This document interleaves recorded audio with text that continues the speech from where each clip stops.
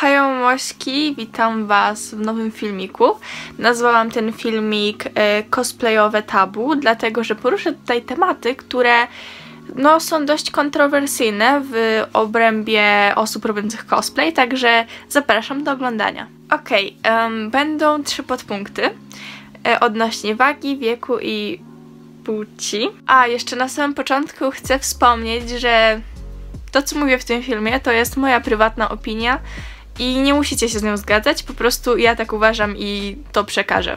Także tak, dostałam ogólnie i dostawałam i nadal dostaję dużo pytań odnośnie tych trzech tematów, także już nie przedłużam, zaczynamy, bo trzeba, trzeba po prostu to nagrać. Okay, więc jeżeli chodzi o wagę, to moim zdaniem nie trzeba mieć figury takiej jak konkretna postać, ponieważ no, jest to postać fikcyjna i jakby nie każdy ma po prostu taką figurę. Zdania ludzi na ten temat są podzielone, jednak ja uważam, że jeżeli chcesz zrobić cosplay, jeżeli się czujesz komfortowo w jakimś cosplayu, ale nie masz figury jak jakaś postać, no to i tak go zrób, jakby dlaczego nie, dlaczego nie?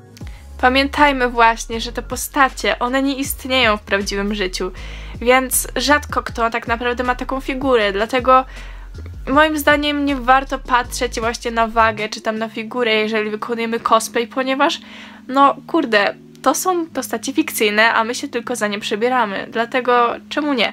Poza tym różnorodność jest naprawdę cudowna. Okej, okay, kolejny punkt, czyli wiek. Mm, dla mnie to też tak naprawdę nie ma dużego znaczenia. Ja ogólnie jestem zdania, że niech sobie każdy robi co chce, jeżeli nie krzywdzi drugiej osoby.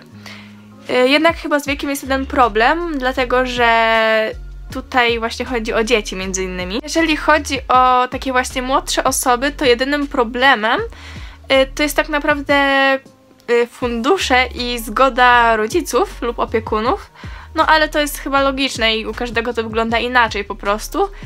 Jednak dalej nie widzę przeszkód, żeby dzieci robiły na przykład cosplay. Po prostu młode osoby robiły cosplay. Ja sama zaczynałam jak miałam 12-13 lat. Nie wiem, czy to jest dużo, czy mało. No, wydaje mi się, że to jest tak raczej niedużo, jak na cosplay. Także, no, ja uważam osobiście, że to nie jest problem. Jeżeli ktoś nie ma z tym problemu, to to nie jest problem po prostu. No i ostatni punkt, czyli płeć.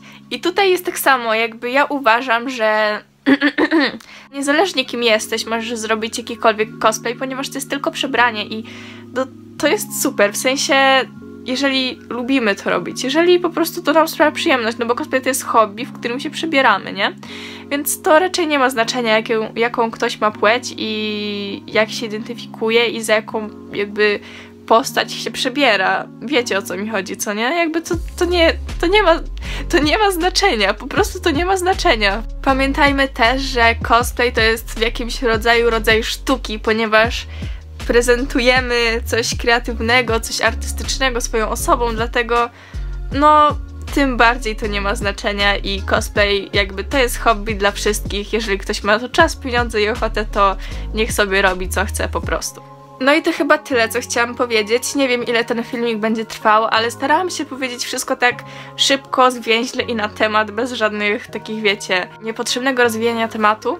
No i wydaje mi się, że mi się udało i chyba będę kończyć. Także co mogę wam powiedzieć? Zostawcie łapeczkę w górę, zostawcie komentarz, zostawcie subskrypcję. No i to tyle. Ja się z wami żegnam. Matane!